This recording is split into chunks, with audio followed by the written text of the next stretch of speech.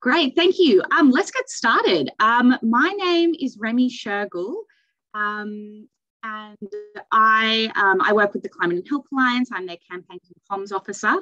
Um, if you could update your name um, to reflect um, uh, what your name and where you work and pronouns if you're comfortable. Um, and feel free to introduce yourself in the chat, um, letting us know, you know, what you've come along for today and also what country you're calling in from if you know it. Um, I'm calling in today from the lands of the Wurundjeri people of the Kulin Nation. I would like to um, acknowledge their elders, past, present, and emerging. I'd like to acknowledge that today I'm calling in from land that has never been ceded. Um, it always was and always will be Aboriginal land. Um, at the Climate and Health Alliance, we recognise Aboriginal and Torres Strait Islander people as the traditional custodians of the land on which we live and work, and acknowledge that sovereignty of this land has never been ceded. Uh, and we commit to listening and learning from Aboriginal and Torres Strait Islander people on how we can better reflect Indigenous ways of being and knowing in our work. Um, and I'd like to welcome and pay special respects to any Aboriginal or Torres Strait Islander people who are here with us today. Um, thank you so much everyone for, for being here. Um, I just want to thank as well uh, the groups who have made today possible. So this training has been organised by the Southern Melbourne, uh, the Southern Metropolitan Region of Melbourne, um, three primary care partnerships in this region. So Enliven Victoria, the Frankston Mornington Peninsula Primary Care Partnership, and the Southern Melbourne, Southern Melbourne Primary Care Partnership. Uh, PCPs play a really important role in bringing people together and in building um, capacity um, and that's a great fit for our work at the Climate and Health Alliance. We were really excited when we were approached to run this workshop. Um, and yeah, so a massive thanks to everyone who made this happen at these organisations. Um, a little bit about us. Um, so I work for the Climate and Health Alliance. We represent over 70 health organisations in Australia, plus individuals um, who work together as a coalition to achieve uh, achieve commitments and, and progress towards climate action, focusing on um, the benefits to health. Um, we want to create a powerful health sector movement for climate action and sustainable healthcare. Um, a little bit on me, um, I've worked in climate communications for six years, both in science communications and advocacy work.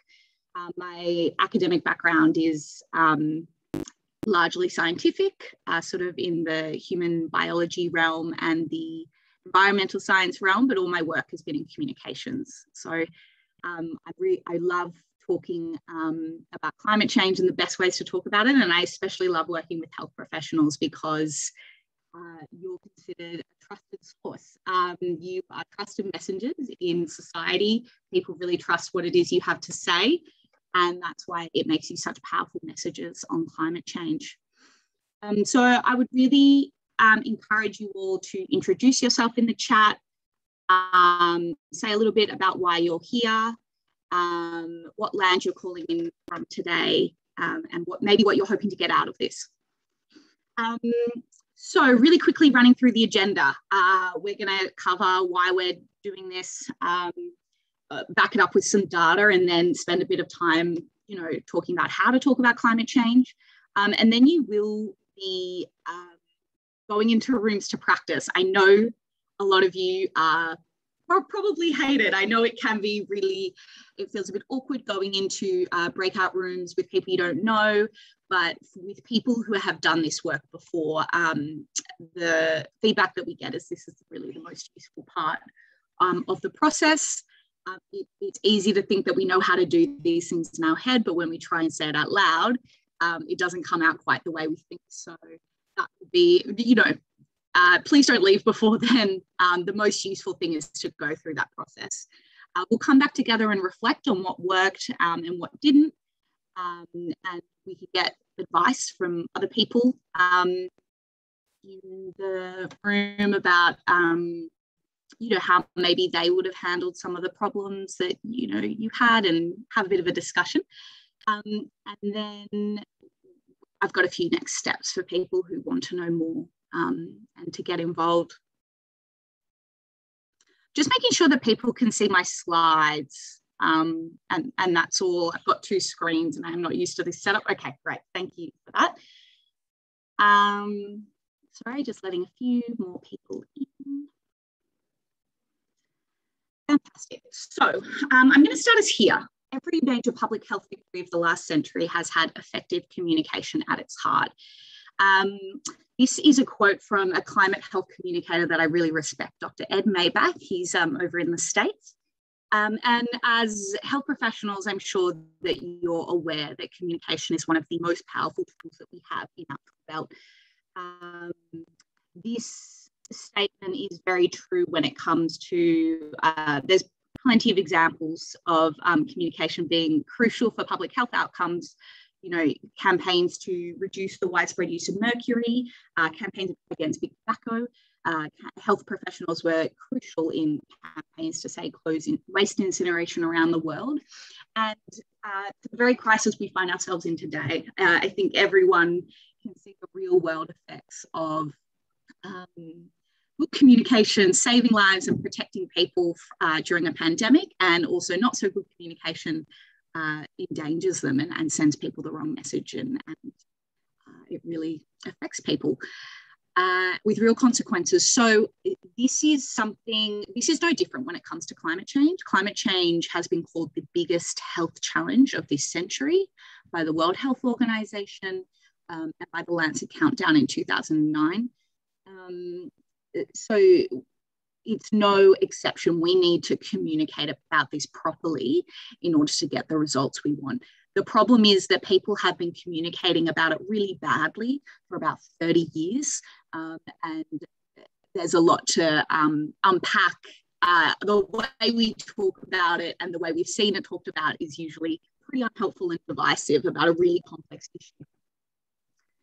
Um, so, how do we talk about it? Well, the evidence says um, that simple messages repeated often by trusted voices are most effective. The good news is that as health professionals um, or people who work in health, um, the health sector, you are the trusted voice. Um, you know, every year in Australia, the top most trusted professions are usually people in the health sector. Um, this year, doctors and nurses came in spots one and two. Um, and even if you're not someone who people maybe see as that, you know, that traditional role as a health professional, like a doctor or a nurse, whether you're a health promotion practitioner, a public health professional, um, whatever your role might be, um, people trust people who work in the health sector. So even if your role isn't in that um, that that very traditional list that comes out every year, um, people are taught that eh, professionals who advocate for better health outcomes don't have an agenda, are evidence-based people, and are trustworthy.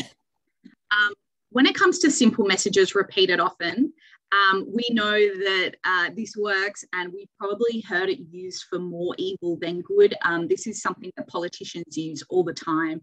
They have a simple message, they repeat it often, it gets stuck in people's head, and at least, um, at least, you know, a, a, sizable portion of people start to believe it's true because they hear it all the time, everywhere. So um, we can use this this power for good instead of evil, um, and we'll talk a little bit about how soon. Um,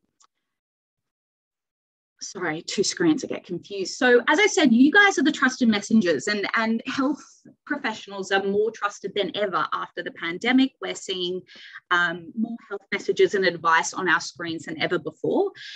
And it's very powerful because um, health is a persuasive frame. It's a, a, a persuasive way to talk about climate change and it appeals to people across the political spectrum. Um, so whether you're talking to people who you know are on board with, you know, climate science and they're quite active in this space, or people who you think maybe don't see it as relevant to them, health is a really strong way to make sure that people see it as something that affects them rather than something that's a distant threat. Um, so we um, I'm just going to go a little bit into the data that exists um, around this concept because while health professionals are really suited to this work, we wanted to understand if health professionals are doing this work, whether they feel comfortable doing this work, what they need to help them feel comfortable to do this work. Um, and uh, so we ran a survey. It's the biggest survey that's been done in Australia on climate and health. Um, we surveyed 875 health professionals from um, the details of that survey. Um, so we had um, people from all states and territories, um, apologies, the, the breakdown of where they lived um, is pretty accurate, uh, uh, pretty um, commensurate with how people in Australia, the breakdown of where they live. Um, we did have a heavy skew towards female workers, um, likely because there's also a heavy skew towards female workers in the healthcare workforce. Um, and we had people across a broad range of um, age groups. Um, I did want to flag this, um, the breakdown of the health professions, because I know that many people here identify more strongly with public health or health promotion. So I do want to flag that um, if some things in this aren't aligned with your um, experience, it could be heavily influenced by what happens in a more medical sphere. Um, but uh, yeah, feel free to put any comments in the chat as we go about things that you find interesting or things that um, align with your experiences. So um, we wanted to know if health professionals are concerned about climate change. The answer are, is that they are. Um, they're much more concerned than the general population. Um, about 50, over 50% of people were considered alarmed. These are people who are quite literate when it comes to climate change and also think that it will affect their lives personally. Um, whereas in the general population, this is just under a quarter of people would consider themselves like this. So uh, yeah, we are a, a, a, um, concerned group, and this means that we um, can be mobilised to take action. Um, just flagging here, uh, the people who were most concerned with the med- uh, sorry, most alarmed with medical students. That aligns with a lot of data that we have. But yeah, public health and health promotion were very um, alarmed and concerned compared to the nurses and doctors. And that really um, is reflected in the amount that they see these things in their workplace. Um, public health professionals and health promotion see them a lot more often. Um, so, what are they seeing? So, we're seeing a lot of people presenting with signs of heat stress, um, respiratory illness from pollution, mental illness due to climate change, distress, um, and bushfires, um, pollen related allergies, um, but there's a whole range of them in there. Um, some, it's not just the people presenting um, to our clinics or you know to our um, workshops or whatever space we work in it's not just the people coming there with problems it's also um, how it's affecting the workplace itself so whether it's staff being absent from work due to the impacts of climate change or power failures, disrupted access to health services, um, the, the way that climate change affects our health sector in Australia is, is diverse and um, has serious implications.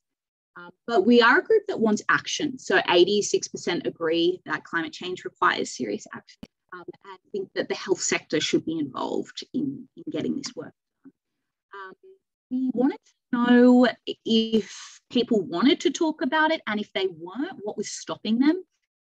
The most, um, the most reported um, barrier to talking about climate change was that they didn't felt, feel well enough informed.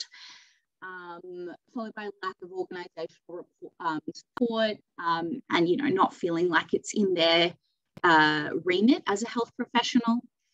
Um, but 30% of people are talking to their patients about it. And, and as we're a group that's um, we're over 50% alarmed and over 25% concerned, we are a group that can move from this 30% of health, prof, uh, health professionals talking to the people they work with about it to a much higher number. Um, health, the health professionals surveyed said that they were much more likely to do this work if they were given the right resources and training. Um, and they also wanted to hear about climate change from sources that they trusted more. So at the moment, they're largely hearing about it from the news, um, though they are quite diligent in going also to check out journal articles. Um, but they want to hear about it more from departments of health and from their professional organisations and from their unions and from groups like primary care partnerships. So if you're with um, one of the primary care partnerships today and you feel like you're not hearing enough about climate change from them, um, I, I, would strongly encourage you to let them know. Um, though uh, by organising this training, I would say it's something that's definitely um, in their ballpark. I have just received um, a question asking where this survey data is from. So this is a survey that we ran after the um, session. I'm very happy to send uh, the full report to everyone here.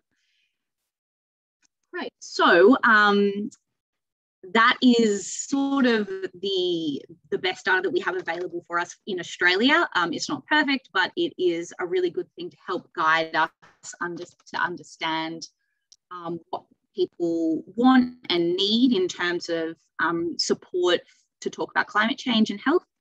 Um, and I'm just going to launch a poll here um, so that we can get an idea of what people hear, what barriers they face in terms of um, talking about climate change and what sort of resources would help them the most um, to start to do this work more.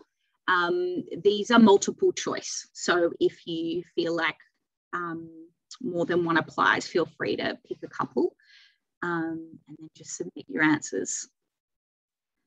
While I'm waiting for the answers to come in, I will um, just address any questions that are in the chat. Some of them are being sent privately to me. Feel free to put them um, publicly in case um, there are other people who um, might be able to answer your questions. Um, in terms of uh, simple messages repeated often, I have got a question about um, if this would cut, if this would work in a healthcare setting, um, because you know the things that we're trying to communicate are quite complicated. It's a really good question. We'll talk about that shortly. Um, we will go through some quite specific tips on how to talk. Just gonna, I've almost got everyone um, submitted the survey. So um, if the last 10 people or so could submit, that would be great.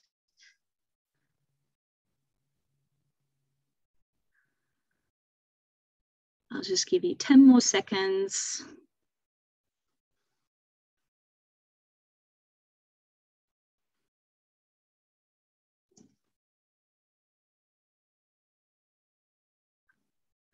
Three, two, one. Great. Thank you so much, everyone. That's going to be really useful for us to um, follow up with and help understand how we can um, how we can support you to do that.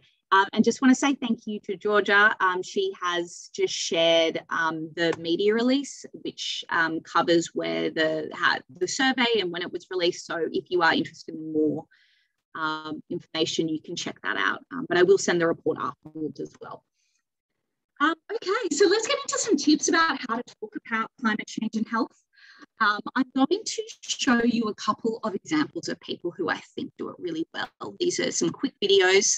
Um, I want to flag that these people are presenting in the media. I wanted to get some examples of people talking to clients or community groups about climate and health, but um, these tend to be either confidential or um, it just hasn't been enough demand for people to actually film them doing these things. So if you look up um, climate and health and, and, people talking about it, it's largely TED Talks, which is, um, you know, people who are very articulate and often quite intimidating to emulate. But um, I am going to show you two, oh, this video doesn't exist. Let's try it next. Okay, the next one exists. I apologize. I was going to show you a video of Greg Mullins, who's the ex-fire chief in New South Wales.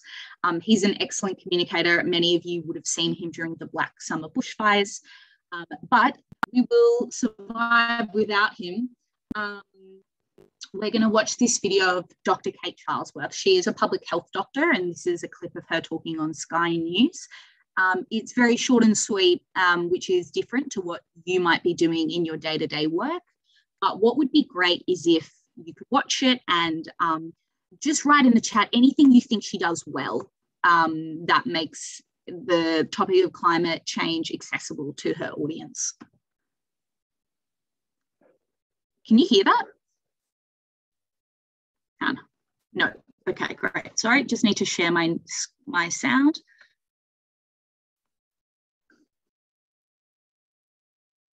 Health professionals and medical groups are urging the federal and state governments to act on what they're describing as a public health emergency caused by bushfire smoke. In a joint statement signed by 22 organisations, Sydney's poor air quality has been labelled an emergency which requires urgent action. Air pollution from the bushfires has blanketed parts of Sydney and New South Wales for weeks. Climate change is a health emergency. Emergency is not a term that we use lightly, but there is overwhelming evidence now that climate change is a health emergency. We are seeing it impact on our patients and on our communities, and scientists are very clear that we need to rapidly shift away from fossil fuels and towards cleaner and healthier and safer forms of energy to protect human health. Okay, that was quite a short clip, um, so you may not have had time to write in the chat, um, feel free to pop it in now or to just uh, use the raise hand function if you were if there was something you thought that Kate did to talk about um, climate change and health um, that appealed to you. Um, so great, clear message and simple language. This is absolutely essential. Uh, we don't want to get caught up in medical jargon. Um, we don't want to get, you know, use language that people don't understand actually really good to try and talk to someone as if they were, you know, a 12 year old. Um, that's not to that's not to be condescending, but just really, if we're talking about an area that other people don't have a lot of understanding of, um, they they're not necessarily going to under, understand what we're putting across. So we want to talk about it in a really simple way. Um, thank you to everyone who said that. Um, mentioned the health emergency and then talked about how emergency is not a word you use lightly. Now, this is really interesting because Kate is a doctor um, and people are not used to doctors using a word like emergency. Um, they're not someone that um, would typically maybe refer to, you know, climate change as an emergency in the minds of the average person. Um, so it's really powerful. So I, I do say later um, not to use um, divisive language. Um, I guess Kate is an example of using it really well sparingly, but a lot of people can be turned off by this message um, if they are skeptical. Um, I think in Kate's case, it works really well because she talks about that this is not a term that she uses lightly. Um, she says simply what we need to do and why, Tanya. Yep, that's it. Like really clearly points out um, a picture, um, clear, direct, repeated message. Uh, exactly. This is about how she repeats the same message over and over, creates that link um, in our head. But in our eight golden rules for talking about climate change and health. So I'm going to go through them now, um, and you will get a chance to apply these. So our eight golden rules. Simple messages repeated often by trusted voices are most effective. Um, I've said that uh, three or four times now, and it's almost like this is the simple message repeated often that I'm trying to get through to you. Um, so hopefully that is building up some of those um, neuron pathways. We want to pick a simple message that we can have as a mantra in our work. Um, for many of you, maybe as health promotion practitioners, it might be climate action is good for our health um, that can be something that we say over and over again when when um, if, if that question is directed at us um, we would say more than that because in our roles, we're not talking to the media, we're talking to people and we want to have a genuine conversation. But this is a mantra that we can put into our work over and over and um, really build that message up in people's head. Uh, you will feel repetitive. I feel repetitive saying this like three or four times already in this conversation, but uh, it's not about how you feel. And if you feel like you're being repetitive, it's about them getting the message. And, and you really do have to say it multiple times. Um, Number two, let's frame the issue as a health problem. Most people have come to climate change, have learnt about it maybe through an inconvenient truth, or um, you know, young people have really grown up with it and, and always known of it as something that exists, um, or they've come to it through the realm of politics. We climate change is one of those wicked problems that covers every aspect of our lives. It's also an economic problem, it's also a social justice problem.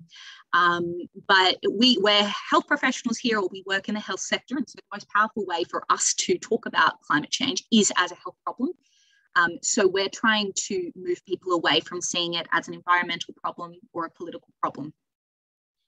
Um, one of the best reasons to do this is that health is a universal value people are ta- taught to value their health from the time they're very young and to value the health of their families and their friends and their communities, even when we're kids.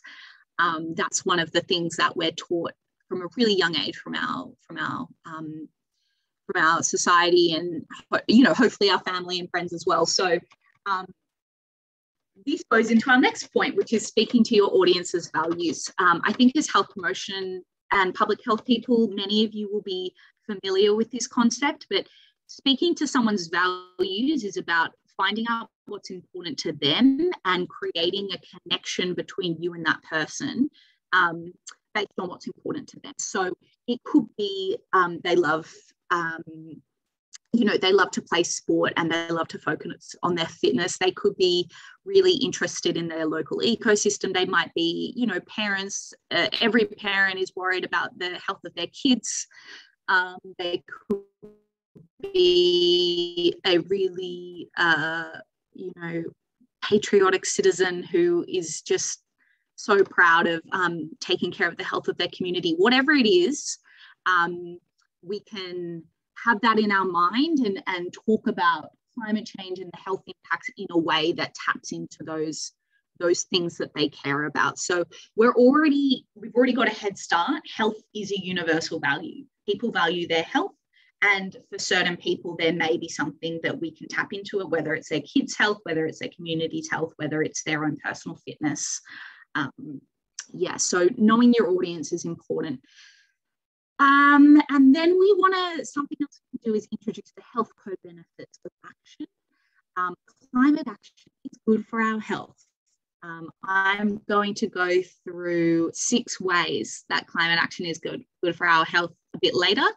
Um, but this is something that is solutions focused, is positive, and people like to hear this message um, rather than the doom and gloom of climate change, which is exactly what they hear when it's framed as a political problem and as an environmental problem. That is a doom and gloom frame. Health um, can be a much more positive frame and much more solutions focused.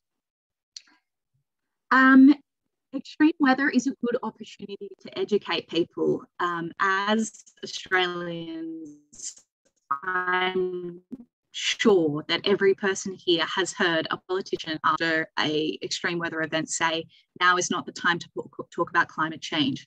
Wrong, wrong, 100% wrong. It is the time to talk about climate change um, because it's, it's what's happening. And people are paying attention because it's something that they can see is having an effect on their lives.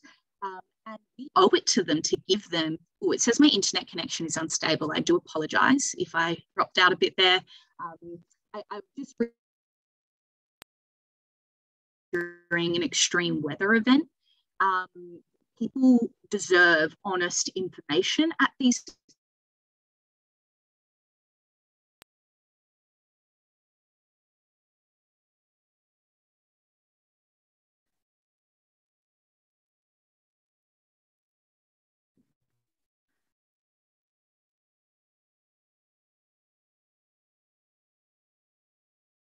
working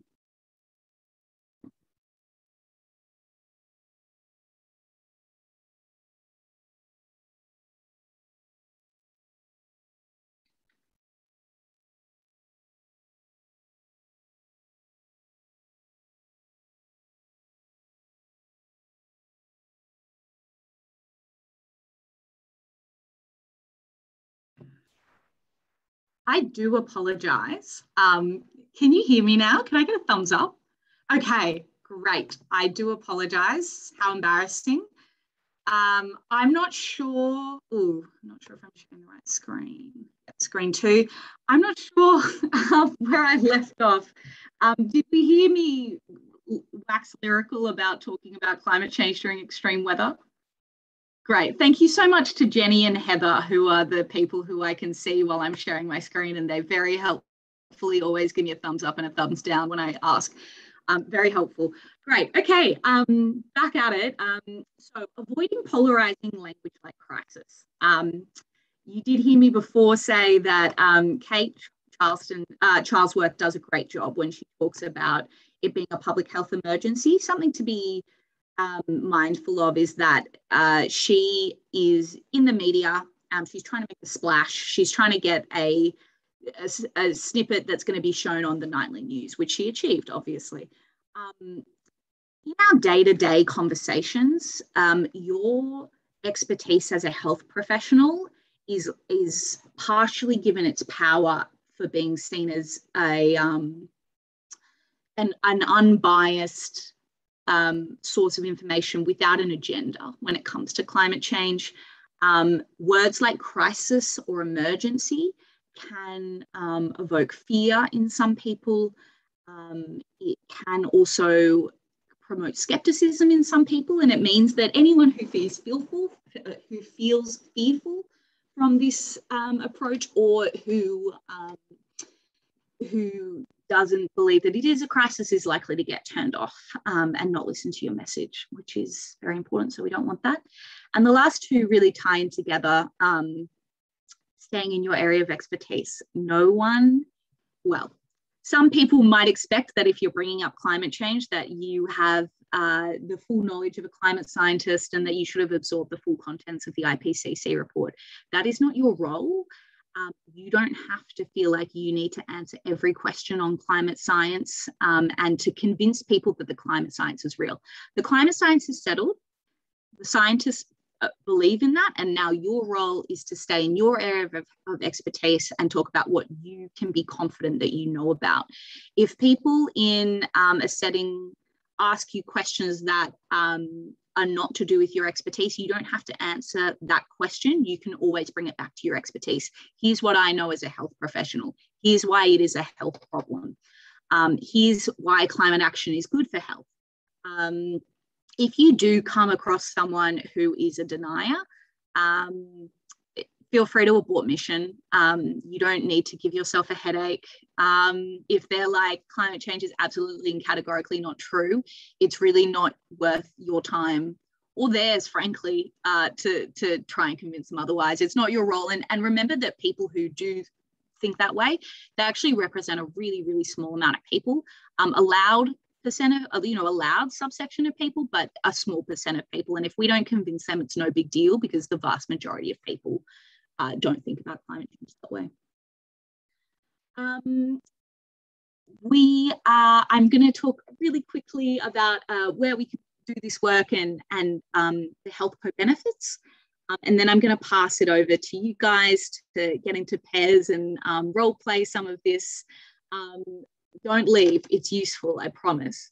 Um, so where can we talk about climate change uh, during interactions with patients or clients or community members, whoever it is that you work with? Um, but there's other ways that we can do it in our waiting room. Do we need brochures that talk about it, posters um, in your workplace with your colleagues? Health uh, healthcare settings are responsible for 7% of Australia's emissions, um, which is huge. So we can clean up our own act in our workplaces and, and reduce our own emissions and become more sustainable and make a change that way. Um, you can talk about it online. So if you have a website or um, if you've got, um, you know, active professional social media accounts, there's plenty you can do in this space to um, raise your voice and your voice will have an impact in these spaces um, because of um, your reliability and trustworthiness as a messenger you can talk to the media. Um, that might be really outside the remit of what you feel comfortable doing. But if it is something you feel comfortable doing, even if it's talk back or even if it's letters to the editor, that's something we can help you with. Um, to your elected representative, our MPs and senators hear from us way less than you think they would. And um, I had a health promotion practitioner um, with her MP the other day, Josh Burns, and they had an amazing, amazingly productive conversation about climate and health because as a health promotion practitioner working for local government, she has to consider the impacts of climate change in every decision she makes, right? That's she's legally required to do that. And she put it to Josh, why, why don't why doesn't that happen at the federal level? It's crazy that I um, as a as a one employee in a local council has to do this work, and that our federal MPs um, on six figures a year aren't required to do that. And it, and that point really got across. So um, health is a really powerful way to talk to decision makers about climate change. Um, and I'm going to go quickly through some health co-benefits of climate action. So, um, and hopefully this, you know, makes you think of people that you work with and how you might be able to bring up some of these topics um, so cycling and walking, you know, improves our heart and lung health, um, reduces the risk of, of many diseases, and it also reduces the pollution from cars, which we know um, is a, a, big problem for people uh, with respiratory illnesses um, and, and more. Um, eating less meat. Um, meat is a very carbon intensive food source, and it, it, if you eat less of it and eat more veggies, lowers the likelihood of bowel cancer, heart disease, obesity. This is not comprehensive, by the way, this list. There are many more co benefits and also more benefits to these co benefits I've listed. Um, spending time in nature, we know this is really good for um, improved mood, um, stress, um, and we can mimic this response by increasing our green space at home. Um, going gas free is a big one. People love their gas kitchens, but they're not aware that, um, for instance, gas fired cooktops are strongly linked with asthma in children. And a report that came out this year found that the likelihood of, a, of a, the effect of a gas cooktop in a household um, is the same as having a smoker in the household in terms of how it will affect, affect children's health. Um, so go electric and then um, buy renewable power if you can. Um, and also eating locally grown food, it's often more nutritious. Um, it produces less air pollution and less food waste. Um, so there's some of the things you can talk about, but everyone here has, uh, you know, quite different jobs and, and some things might be more um, relevant to your job than others. Um, and I'm just going to reiterate this point um, about curly questions, questions that lie outside your expertise uh, if people ask you something like this, um, or it could be more subtle than this, it could be, uh, you know, I can't afford, I can't, you know, I can't afford um, renewable energy. Like, why are you putting pressure on me to, you know, fix this problem? Um, I, am not sure what it is, but um, you can, you maybe in your work, you can think of, um, things that people might say that put you off talking about climate change because you're worried about the pushback that you get. Um,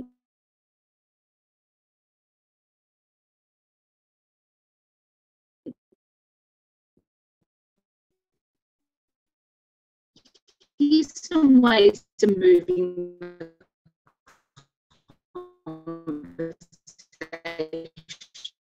along again uh, professional is this. This new resistance constantly is um, politicians. So um, let's take their tips and use them again for good instead of evil. Um, this is your opportunity um, and your power to, um, you have unique power in this position to really get these messages across. So let's give it a go.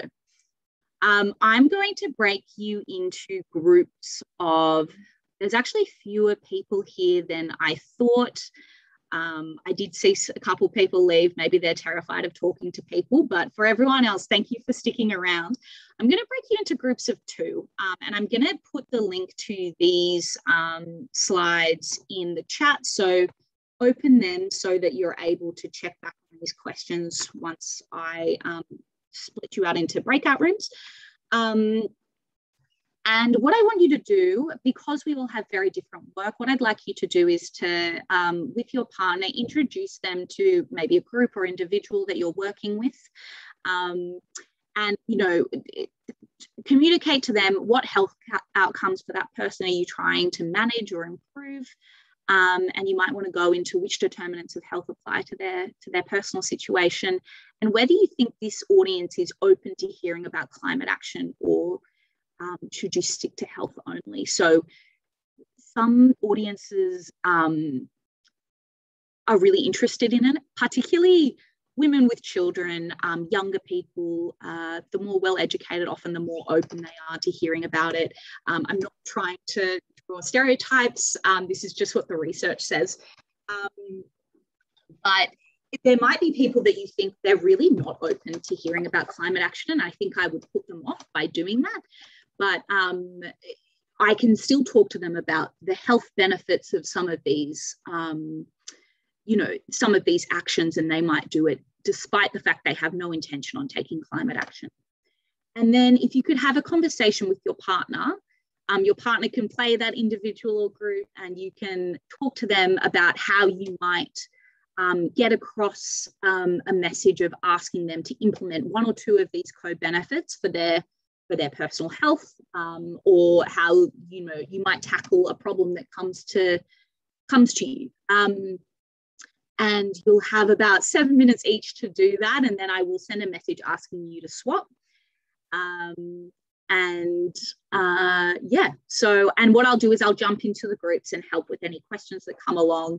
So i'm going to send you into breakout rooms now but if you've got questions come off mute and just ask me um, before you get banished to all of your breakout rooms.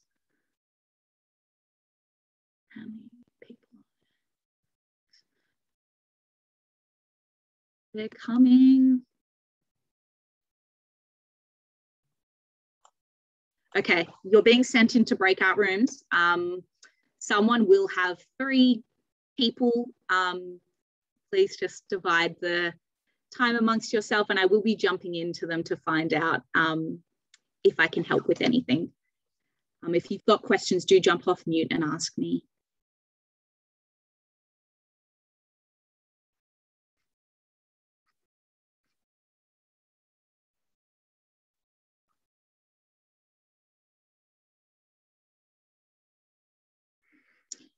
Edgar, Natalie, Belinda, Liz, Rowena. Um, are you guys having trouble accessing it? Yell out if you are.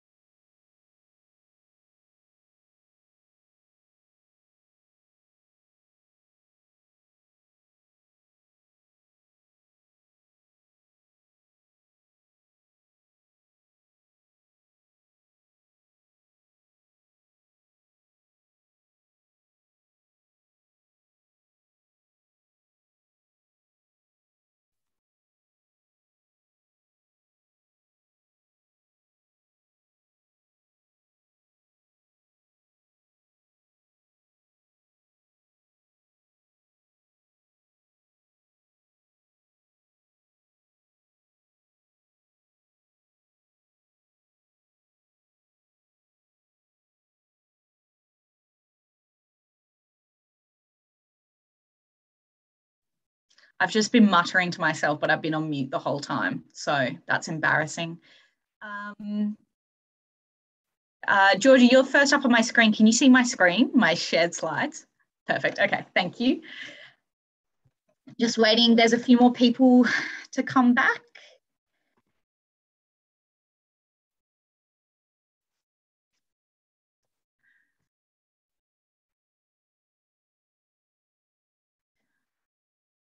With us shortly.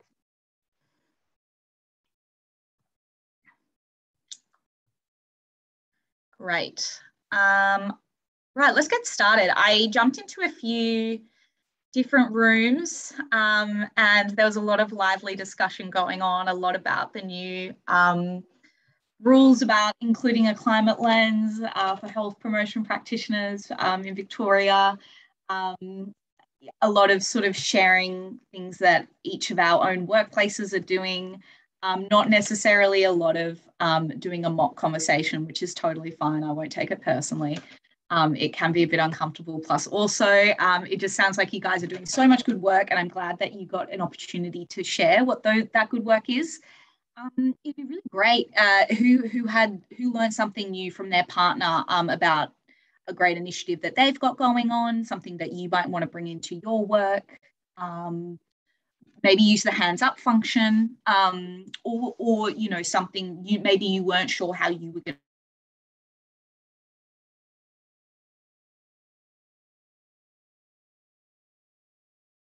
to bring in your work.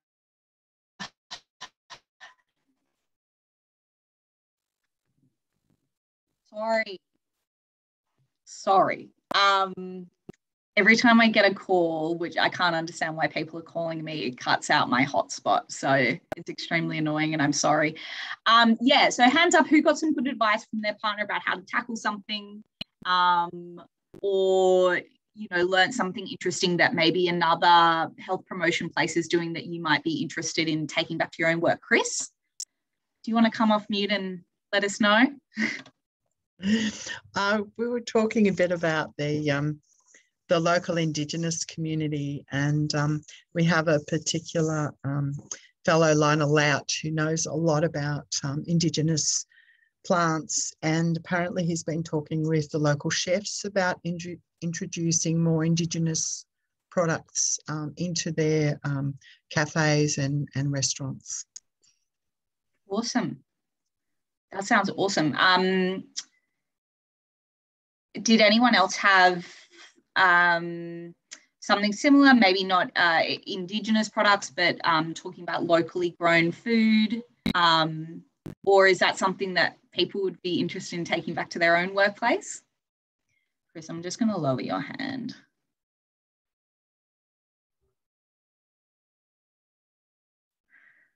Um, okay, I'm going to start to pick on you because I did jump in some of your conversations, um, and I know that you were talking about interesting stuff. Tanya, what did what um, happened in your conversation that you'd like to share?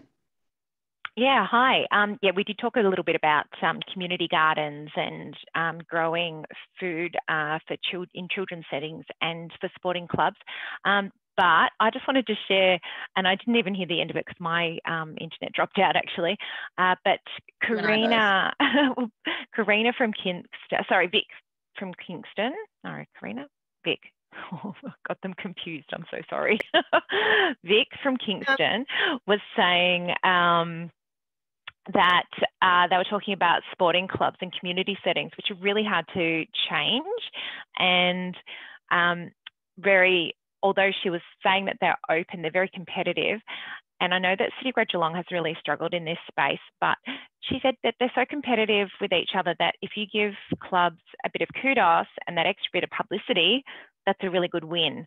Um, because there a lot of the time the clubs I've worked in that area uh, a little bit over the last sort of 10 or 12 years and they like to make a lot of money out of their food but if you give them a solution like that extra bit of promotion, that's a really good calling card. I just thought that was interesting. Okay, I'm absolutely on board with promoting competition between natural enemies to for sustainability. Um, that's a great a great group to engage. Um, thank you for that, Tanya. Um, I know there was a few people discussing um, when it would be appropriate to bring up climate change. Oh God, I'm frozen. Oh no.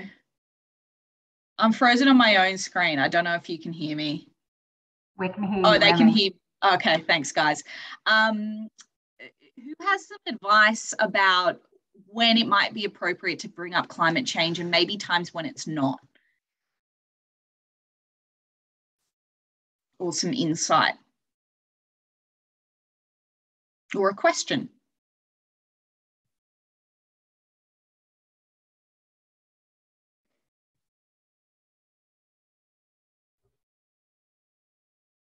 I'm not sure, Gabrielle, if you're trying to clap or put your hands up, but um, I'm going to call on you.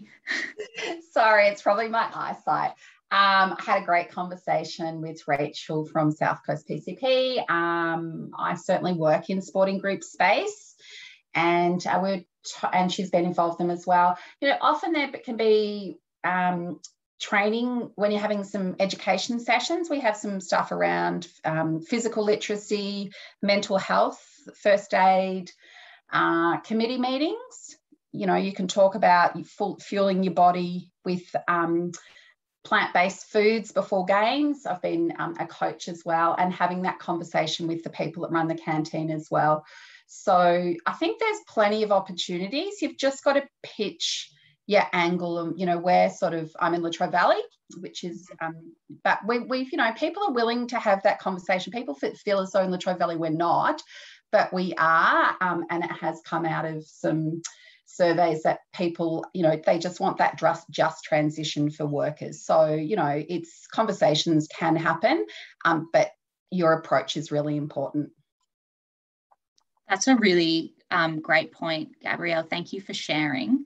Um, yeah, and you know, the local context that you're having these conversations in is really, really important. And that's why, as local health professionals, you have a way better sense of what's going to work than you know the head of a state standing up on tv or or you know me um, someone who's based in melbourne talking to people. Um, as a local you've got a really good idea about what is going to work in your local area and what's not. Jenny? Yeah, along similar lines, um, I met with Sally and we had some fantastic conversation about lots of things, but we also thought that um, the, it's the incidental conversations that you have rather than the, you know, maybe the formal education as such, which, you know, some skeptics perhaps may sit back and go, well, well, yeah, but I can't impact it. But if you have those little incidental, oh, great to hear you shop local. Did you also know that that impacts positively on climate change or, you know, those sorts of, of discussions where people might not even think that it's a climate change issue or anything else. Oh great to hear you you know you went for a walk or you you know you bought some more plants for home whatever it might be. And um, i think it's the little snippets that you have that might stick more so in people's minds than the you know sometimes perhaps in a formal education setting um, or you know having to read reams of paper and resources and that sort of thing um, I think that's just as beneficial as you know the larger conversations, I guess. That's such a good point. I feel like that's like incidental positive reinforcement that um, makes people feel good, gives them a little boost of endorphins unexpectedly, and and there that the thing is that there is just so much information out there.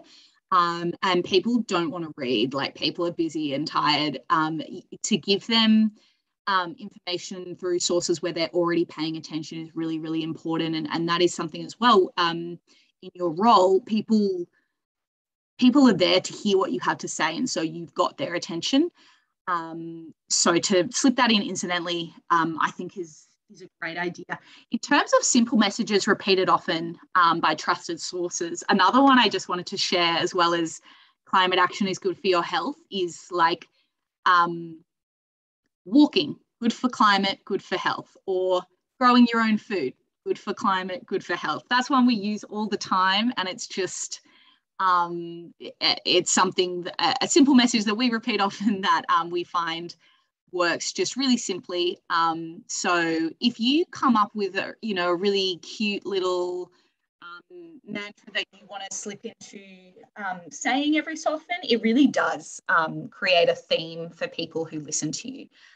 There's so much I heard in those conversations. I am going to have to move us on, but um, yeah, uh, you know, I hope that some of these conversations that you've had, you might take these back and have them within your own workforce, with, with people in your team, um, to see how you can um, implement some of these things at home. Um, I'm just going to introduce you quickly. This is our, our comms guide. We'll send this around afterwards. This has more tips. It has those eight golden rules written in there. It's got um, some simple messages that you can adapt for yourself to into your own work. Um, it's got information on how and where to talk about climate change um, at work. Um, and it's got sort of an update on sort of the most recent evidence as well. Um, I'm just going to run one last poll. Um, if we could finish this off quickly, and then I'll take you through some next steps that we um, that we can offer you to you know solidify this work if you're interested.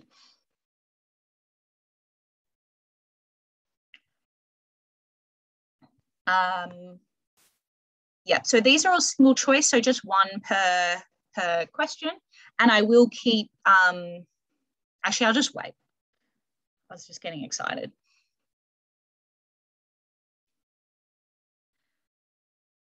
Great, we've got about half of you have answered those.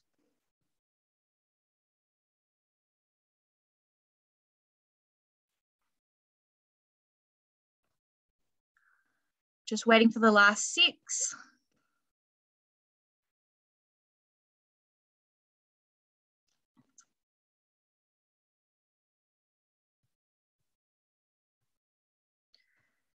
give you five seconds. There's just one last person.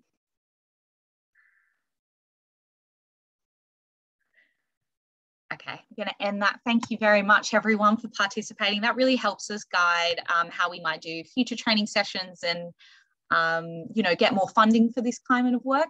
So um, I would keep your eye out for a follow-up email. I'm going to put a whole bunch of useful resources in there. Um, and these are things that you can also send around at work um, and say, you know, I went to this training and, and here's a resource we've been given. Is this something we can have a chat about implementing um, in our workforce? Um, and as well, um, as well as talking about climate change and, and, and health at work, um, also considering what can you do in your workplace to reduce your own footprint. Um, the healthcare sector does account for 7% of Australia's emissions. it's much more tertiary healthcare settings which um, not all of us are working in, but um, there's still plenty that we can do to make sure that we're delivering this message, but we're also um, walking the talk, so to speak. Um, and then what I'd really encourage you to do is to, you know, reach out to your PCPs, but also to the Climate and Health Alliance. Is there action you want to take out of this? Do you want more support to talk to your patients about it? Are you interested in talking to the media? Do you want to talk to your MP about climate and health and what you've learned? Um, there's plenty of ways that we can support you to do this.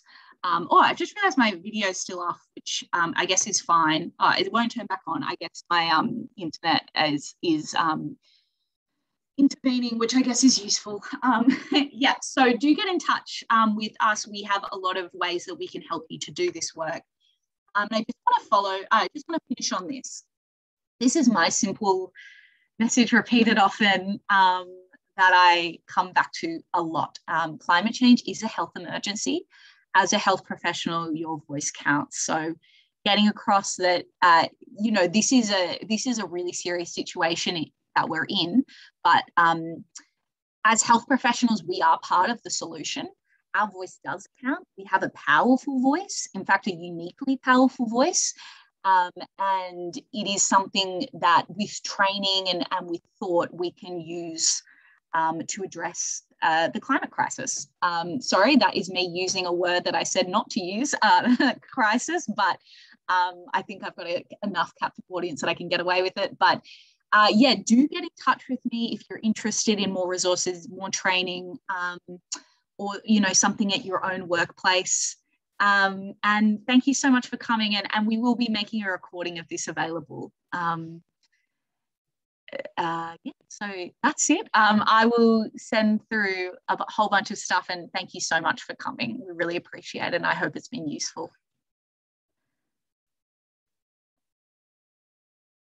Just gonna stop the recording.